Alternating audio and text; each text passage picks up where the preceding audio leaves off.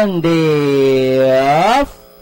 And raising Lilliput fast to begin moving up down the inside is Princess Sia. Then raising in third is Run 'em Down. Then followed by Double Sunrise. Money in my pocket in fifth. Then racing second last Blue Miss and Classic.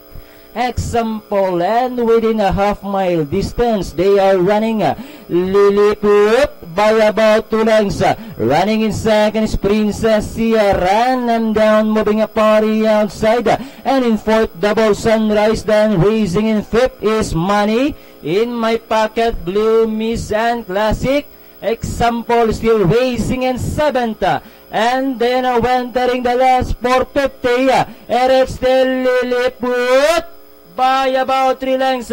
Running in second by the Real Princess Sia. Run him down double sunrise as they turn for home. Lilliput by about a length and a half. Princess Sia moving a party outside, running three wide, running down.